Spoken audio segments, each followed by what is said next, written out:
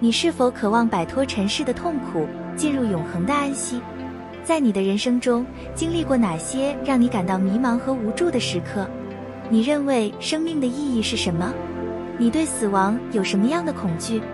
在这个充满变化的世界里，我们常常感到迷茫和无助。我们不禁要问：生命的意义是什么？死亡之后，我们将去往何方？今天，使徒保罗要带进入哥林多后书五章一杠十节中，他要急着神的话，让我们找到穿越死亡的盼望。使徒保罗借这段经文讲述了使徒他对永恒之家的盼望。就让我们预备心来聆听神的话，请听新约圣经。使徒保罗在哥林多后书第五章第一节到第十节这样说道：“我们原知道，我们这地上的帐篷若拆毁了，必得神所造，不是人手所造，在天上永存的房屋。我们在这帐篷里叹息，深想的那从天上来的房屋，好像穿上衣服，倘若穿上，被遇见的时候就不至于赤身了。我们在这帐篷里叹息劳苦，并非愿意脱下这个，乃是愿意穿上那个。”好叫这必死的被生命吞灭了。为此，培植我们的就是神，他又赐给我们圣灵做凭据，所以，我们时常坦然无惧，并且晓得我们住在身内，便与主相离。因我们行事为人是凭着信心，不是凭着眼见。我们坦然无惧，是更愿意离开身体与主同住。所以，无论是住在身内，离开身外，我们立了志向，要得主的喜悦。因为我们众人必要在基督台前显露出来，叫个人按着本身所行的，或善或恶受报。经文就读到这里。今天我们会看的这段经文取自格林多后书的第五章第一节到第十节。我今天给它取名的主题叫做“超越短暂”。那讲到哥林多教会，大概是在主后五十年到五十一年，保罗他第二次宣教旅程的时候，到了这一个非常繁荣的城市——哥林多城。它是一个相当富裕的城市。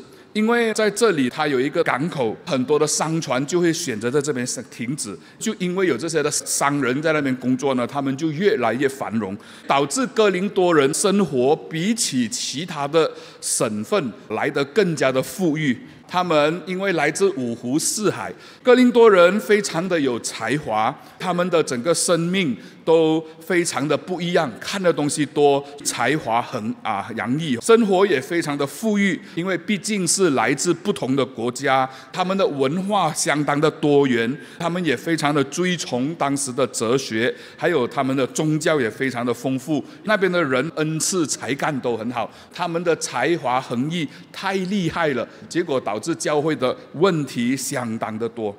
不过，我们从格林多的书信来理解的时候，保罗对教会谴责非常的严厉。其实，保罗最少写了四封的书信去责备格林多教会。格林多后书其实是保罗写了前书，离开了，去到了另外的地方。后来听说教会的问题依然没有解决，所以保罗后来又再托提多把书信带回去。因为保罗他离开以后。有很多其他所谓的假使徒，他们就以使徒的身份进到教会的里面，这些人就就开始用自己的教导，这些的假使徒就毁谤保罗，他们就诋毁他，因为他们讲保罗其貌不扬，而且这些的人就开始去怀疑他，保罗就只好写信去澄清，因此哥林多后书就是用这样的方式写出来。哥林多后书的大纲很简单。第一就是保罗对他的事工的解释，他要告诉这些哥林多人，他的工作，他的目的就是为了要带领教会，为了是要带领信众，为了是要让他们知道，他不是要来骗钱，他不是要来牢笼他们。在第八跟第九章呢，保罗提到关于捐书的问题，因为当时耶路撒冷的教会经历了饥荒，他就鼓励哥林多人奉献。后来保罗在十章到十三章。再一次的证明自己的使徒身份，去鼓励他们。今天我们要看的是来自格林多后书的第五章，到底保罗他要告诉我们是什么？这一个章节你打开看的时候，它很简单，他就讲说，今天有一个帐篷老了旧了，然后上帝为我们预备一个天上的家，所以我们就从中去明白，到底保罗要告诉我们什么东西。第一节是这样讲，他说：“我们原知道，我们在这个地上的帐篷若是拆毁了，必得神所造，不是人手所造，乃是天上永存的房屋。”这里我们看见保罗把它分成两个非常明显的东西，一个是天上，一个是地上。地上的帐篷跟天上的房屋，这两个的分别在哪里呢？一个是容易被拆毁，或者它是会被拆掉的，它是人手所造的；另外一个是天上永存的房屋，而且呢得神所造。一个是帐篷，一个是房屋。一个是永久的，一个是短暂的，一个是人手所造，一个是神所造的。这样我们要问的就是：为何要在天上？这样为何又在地上呢？我们要看这个，我要明白之前，我们必须先理解为什么保罗这样讲。这样一定要看上文。上文你去看的时候，保罗其实第一章到第七章都在解释他的整个施工的缘由。特别有人质疑他的人，因为他们藐视保罗。按照我们从资料知道，保罗其实样子并不是很靓仔哈，不是很 handsome 的。他的样子其貌不扬，而且他的臂子又好像鹰钩臂这样。然后保罗他因为没有拿教会的钱，他就自己支帐篷。他跟雅基拉跟白居拉呢一起合作，自己养自己。然后他收到这些奉献呢，他都。一分不拿，拿去周济在耶路撒冷的穷人。所以你可以想象了，保罗当时他一定在身上没有名牌的衣服，加上人家讲他口才不佳，你讲哈，保罗哦，你看使徒行传，他常常跟人家辩论，他怎么会口才不佳呢？这个确实是他们这样讲他的。他们就质疑保罗的身份，他们讲保罗怎么可能会是使徒呢？保罗怎么可能会在你们当中来带领你们呢？你们应该听我们这些假使徒，我们这些人才是真的，因为我们第一能言善道，第二我们要外貌好看，第三我们有名牌衣服，第四我们上去讲的时候，我们真的是滔滔不绝。但是保罗讲这些人，你们不要去听他的，他们并不是真正的使徒。保罗讲我之所以会这样子，是因为我为了福音的。缘故，我才会这样贫困了潦倒。保罗他在以前还是法利赛人的时候，他当时真的叫做风光，他当时真的是受尽人家的欢迎，因为他大发热心的犹太教的这个法利赛人，还去逼迫教会。可是为了福音的缘故，保罗愿意谦卑自己，他愿意开始去传当时不受欢迎的基督教，所以他因此受到逼迫。如果你去看第四章。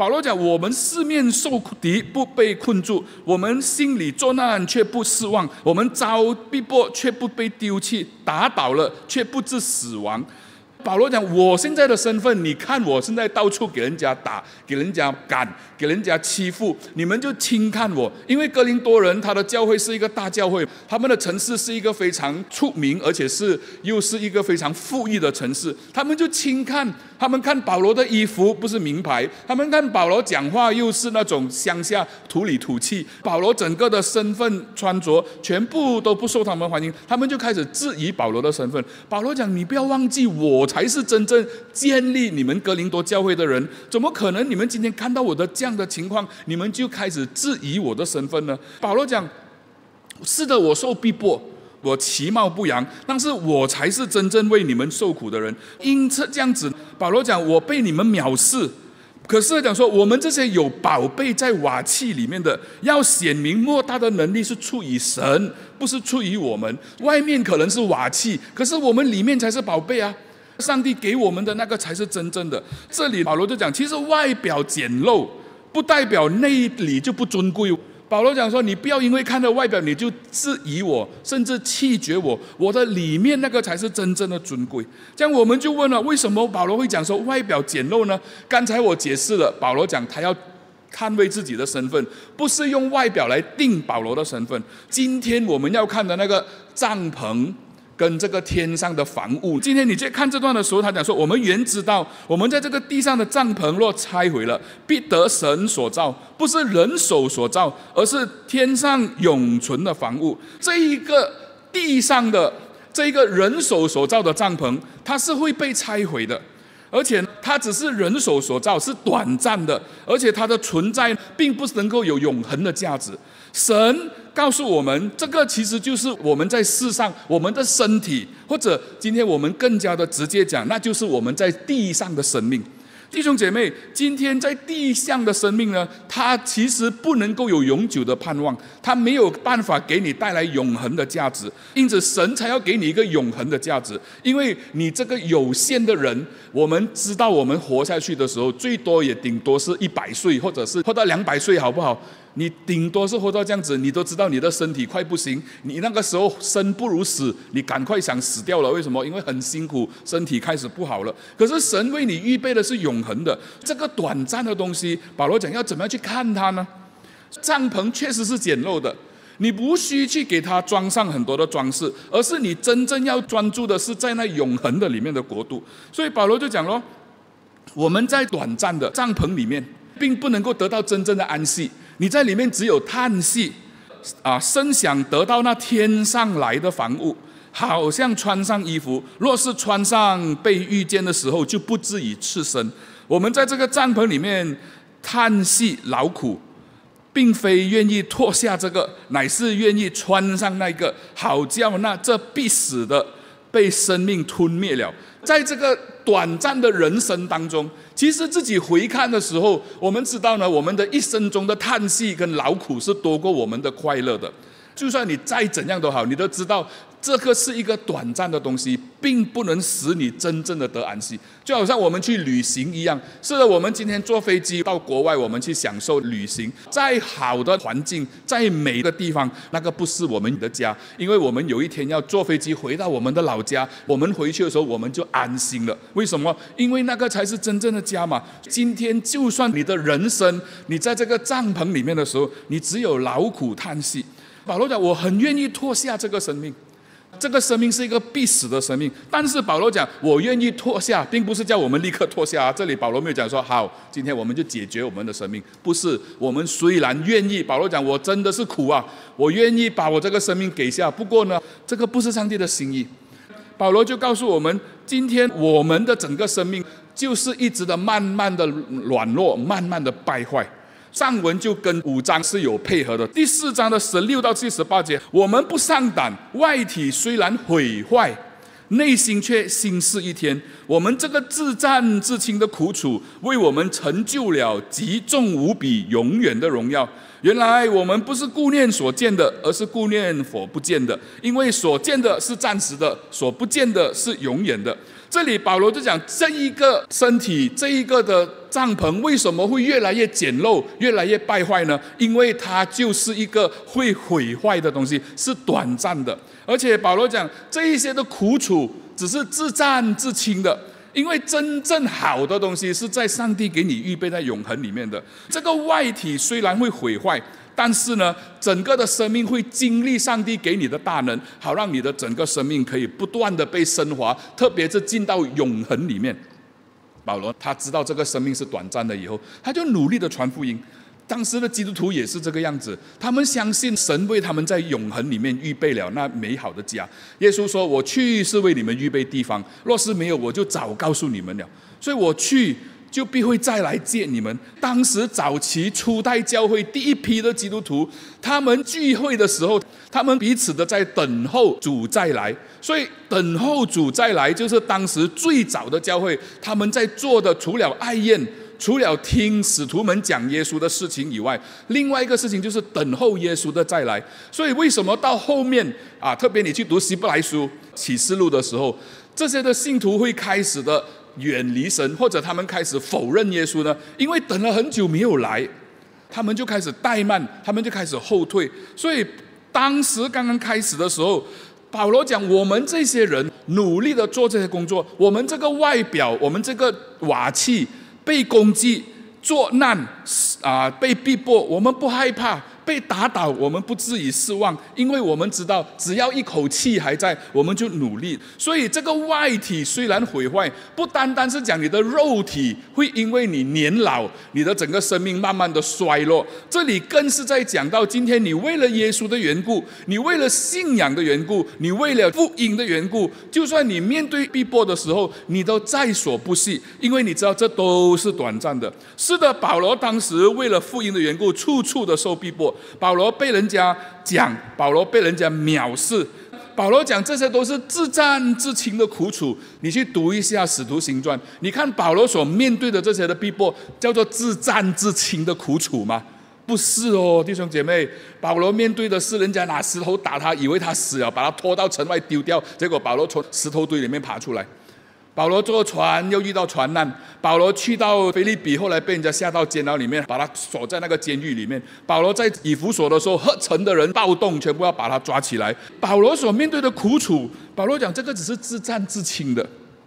是的，对保罗来讲，如果我要跟天上的荣华富贵来比，现在所遭遇的能够算什么？只是一些短暂的，因为这一些自战自清的，他都会过去的一天。在这个帐篷里面，保罗就讲：这个人生里面只有劳苦叹息。呀，对呀，我们的人生真的是劳苦叹息啊！我们回看我们的人生，真的是一把眼泪一把鼻涕。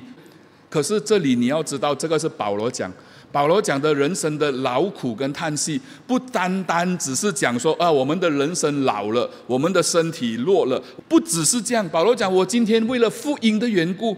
虽然我回看的时候，我只有劳苦叹息，但是我很愿意脱下我这个肉身，赶快跟上帝在一起，好的无比啊！保罗讲没有关系，我现在不是愿意脱下这个，而是我愿意穿上那个。什么叫做穿上那个？这一个就是这个肉体咯，穿上那个就是天上的那个永恒的家园咯。劳苦叹息的生命，有一天因为逼迫，因为肉身里面所受的苦难被压制。劳苦叹息这个字在原文里面，它是被压住的意思。保罗讲这个很困难，难吗？难。弟兄姐妹，今天人生难不难？难吗？你回看你的人生的时候，是不是只有劳苦叹息？对不对？可是那个只是你的人生。我今天问你传福音吗？你讲说没有了，我都没有做过。哎，保罗今天是人生很难，加上传福音。保罗讲这些都是自战自清的。当然嘛，他是保罗嘛，保罗跟你跟我也是一样，都是普通人嘛。保罗上厕所做的东西跟我们也不是一样，有不一样的没？保罗讲，今天我们在回看的时候，这一个短暂的生命，他知道他不能够给他带来永恒的时候，保罗讲，投资不要放在这里。所以我们不上胆，外体虽然毁坏，内心却一天新似一天。因为保罗知道他在做的东西就是为上帝而做，他努力的去传福音的时候，他会更加的需要把福音贯穿，因为他知道福音带来的是永恒的国度。在地上的帐篷若拆毁了，这个帐篷自战自清的苦楚，它会终究的结束。今天的苦难，它不是永远的存在。有一天，这个世界要过去的时候，耶稣告诉我们，神为我们预备了新天新地。上帝要亲手把你的眼泪擦掉，上帝要把你带到去一个没有眼泪、没有悲痛、没有病痛、没有痛苦的地方。神要在那个地方给你建立一个永恒的家园。在地上的帐篷，它是外体会损坏。它是自战自清的苦楚，不是永存的，而且是人手所造的。虽然有劳苦叹息，但是我们知道，这都是必死的。地上的帐篷没有永恒的价值，只有劳苦叹息。如果是这样的话，你还要不要？要吗？这个人生你还要不要？要不要？只有劳苦叹息。你一出生就知道你的生命只有劳苦叹息，你还要出生吗？要不要？要吗？我们的人生不可能不要的吗？所以这样你就要问哦：如果是只有自战自清，人生只有这么短暂，只有这样的情况，我们要怎么做才能够进到永恒里面？这个才是你真正要想的吗？你想的东西不是今天哦，因为自战自清，所以我就放弃自己，我就把全部东西丢掉。不是，我们就很纳闷。今天我们看到很多的教会就告诉我们，其实人生要活活得丰富，人生要活得富足，才能够叫做丰盛的人生。弟兄姐妹，上帝跟你讲的，你真正的人生不是今世的人生吗？今天我们就很爱去听那一些奇奇怪怪的东西，比如说，哎呀，上帝必会给你更大的祝福，上帝给你的祝福财务的方法，上帝给你财务自由的方法，上帝让你的财富大转移，上帝给你打开你的财务的疆界，有没有？我们就为今生努力，我们就为今生放很多的心思，然后我们越放越多，越放越多，结果怎么样？有一天突然间倒下走了。路加福音，耶稣不是讲过一个比喻吗？那个有钱人，那个富人为自己建造了很多仓库，结果他就讲说：灵魂啊，尽管吃喝快乐，因为你现在东西很多吗？上帝讲你这个无知的人，今夜就要你的灵魂，这些东西要留给谁呢？对不对？今天我们的财富要留给谁？可能就是很多年长的弟兄姐妹可能会很担心哦。啊，很多时候钱太多也是会怕，怕什么？怕走了以后家无宁了，孩子们就可能为了这钱，就从此以后就一家人变两家人，对不对？所以今天我们就努力的在做，可是神要告诉我们的是什么？他要告诉我们的是天上的财物，天上的房屋才是那个最重要的，天上的房屋才是神要给我们预备的，地上的短暂的会过去的，我们就看看同样的经文里面，天上的上帝怎么样为我们预备咯。天上的房屋，按照保罗讲说，是神所预备的，它是有永恒的价值。为什么？因为它是神手所造的，它是天上的，它是有永存的房屋，它是极重无比的荣耀，而且永远的荣耀。你的内心会一天新似一天。如果是这样，你要地上的帐篷，还是要天上的房屋呢？你要哪一个？地上的还是天上的？哦，天上的，这样为什么地上的花这么多时间？啊，要吃好的燕窝，早上起来又要去敷脸，衣服要穿美美，啊，享受这个，享受那个，想尽办法就是要留在这个地上。如果这样的话，不是很赶快上天，不是更好吗？对不对？我们每次讲嘛，哎呀，好，我如果今天就赶快跟耶稣在一起，多么好，对不对？可是我们嘴巴这样讲，可是真正要去的时候又不敢。阿牧师来祷告，让我活多几年，活多几天，对不对？保罗讲：“我们不是，他讲这个帐篷是劳苦叹息，所以我们愿意脱下这个，而是我们愿意穿上那个。这个叫必死的，是被生命吞灭了。我们要穿上的是那个生命，那个生命会把我们这个必死的身躯吞灭了。你不是自我了结，而是你要寻找永生。”保罗讲：“你们今天不要因为我外表难看，你们就嫌弃我。”保罗讲：“我给你们的是宝贝。”这个瓦器里面装的是宝贝，我把这个宝贝的信息给你，是给你带来永恒的价值。不要因为我今天保罗看的不靓仔，我今天保罗今天制帐篷，我今天保罗看起来很出身出气，头发又光，鼻子又勾，看看了你们就嫌弃我。保罗讲，你不是为今世的东西，你要为永世的东西。他讲说，为此培植我们的救世神，他又赐给我们圣灵做凭据，弟兄姐妹。培植就是上帝他自己亲自安排。上帝为了让你可以到天上的家里面，上帝就把圣灵给你做凭据。什么叫做凭据呢？凭据就是值，原文里面叫做值，它是一个商业用途。格林多人一看就明白，因为格林多有很多商业的交通嘛。就是讲说，买方跟卖方呢，他们达成了协议过后，他要跟你买，他就下那个 down payment。买房子啊，你下首期啊，下了首期，房子是你的吗？是不是？你今天买了屋子，你跟银行借钱，借了钱你给了首期，那个屋子是银行还是你的？是谁的？哎，是谁的？又是银行又是你的嘛，对不对？因为屋子确实是你的，在你的名下，但是你还欠银行钱嘛，你还要继续还嘛，所以你要下定金，就是你要确定它。你买东西，你先下定金。今天你的生命，上帝先下定金。定金是什么？就是圣灵。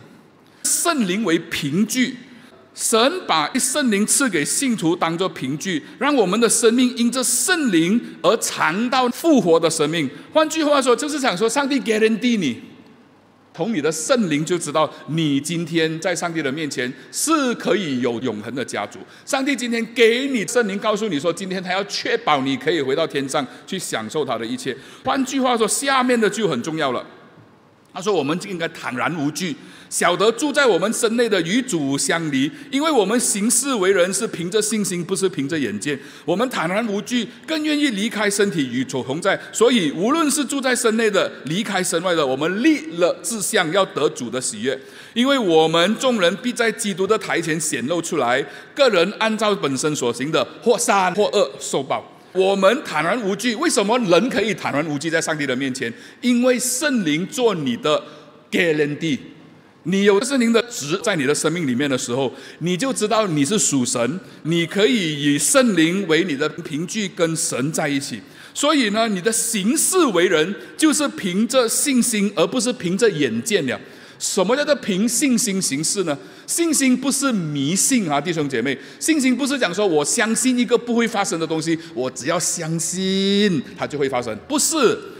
信心一定是建基在你对这个东西的认识有多深。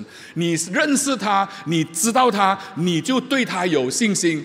好像你对我这个牧师，你跟他讲说，我相信牧师可以吃两碗饭，对不对？他说我对牧师吃两碗饭肯定有信心，有没有信心？有，因为我看过牧师吃三碗，所以我肯定牧师吃两碗，我一定有信心。信心是这样子，我对牧师吃两碗饭有信心，因为我知道牧师可以这样子做。今天很多人对上帝的认识啊，我们要凭信怎么样信心？哦，祷告上帝给多一点信心。你要你的信心增加，就是你要认识上帝有多深，多看圣经，多明白神。你多知道上帝的时候，你的信心自然而然会多。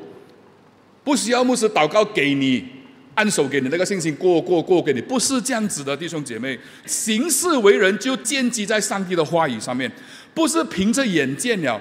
当时的信徒为什么相信耶稣是神呢？后面那些没有看过耶稣复活的人，他们为什么就相信？他们就凭着保罗，凭着这些使徒的生命，凭着当时教会的信徒在一起的彼此相爱的心，他们就认出他们是耶稣的门徒。一直到了现在两千多年，为什么我们可以继续下去？就是因为这样子，所以我们坦然无惧，我们很愿意跟上帝在一起。今天无论是在身体里面或者离开身外，我们立定了志向，就是要讨上帝的喜悦。你的人生今天一生中就是要为了讨上帝的喜悦，是为了什么？因为你已经有了圣灵的内住，你不是因为今天你要讨上帝的喜悦，上帝才把永远的家给你，不是。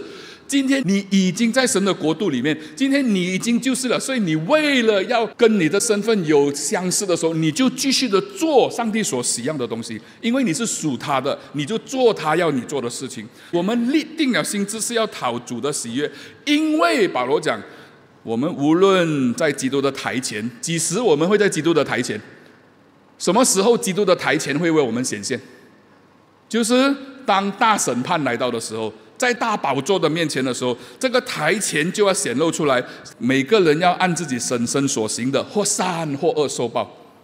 哎，你讲说今天不是为了信了耶稣，所以我做坏事也可以受报吗？没有啊，你看这边有讲的哦，或善或恶受报。所以你讲说今天这样怎么办？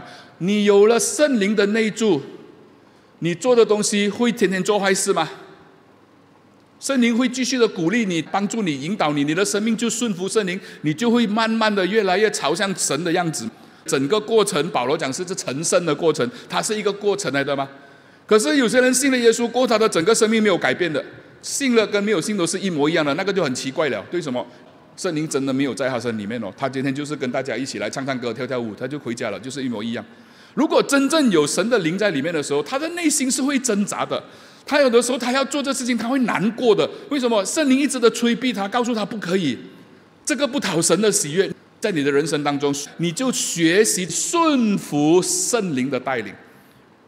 今天信耶稣，不是听了一个很好的、很高深的道理哦，好棒哦，听了一个哲学的这些教导。今天信耶稣，不是一种经历，来这边祷告的时候会抖啊，眼泪会流，倒在地上，不是。今天信耶稣是你清清楚楚，你知道你要做什么，而且圣经告诉你，你的以后的家，上帝为你预备了。如果今天我有凭据我抓住的话，我知道今天这个地上的肉体是暂时的，我就会把我的全部的精力，我全部的投资放在永恒的国度里面。耶稣跟你讲，给你永恒的家，但是你却跟他讲说：“上帝啊，祝福我现在的生活。”那不是很奇怪吗？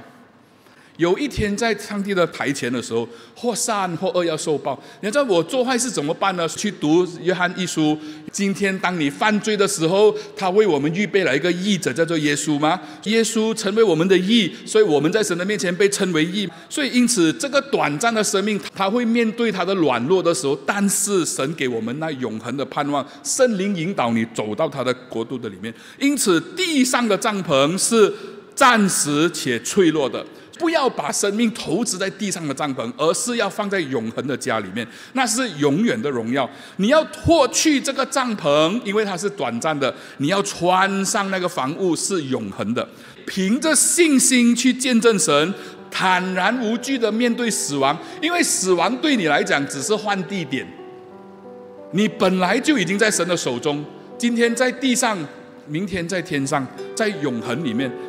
你的一生要寻求上帝喜悦的生命。上帝叫你做什么去做，不要回去旧的生命，不要再把心思意念放在必坏的肉身上，而是放在永恒的里面。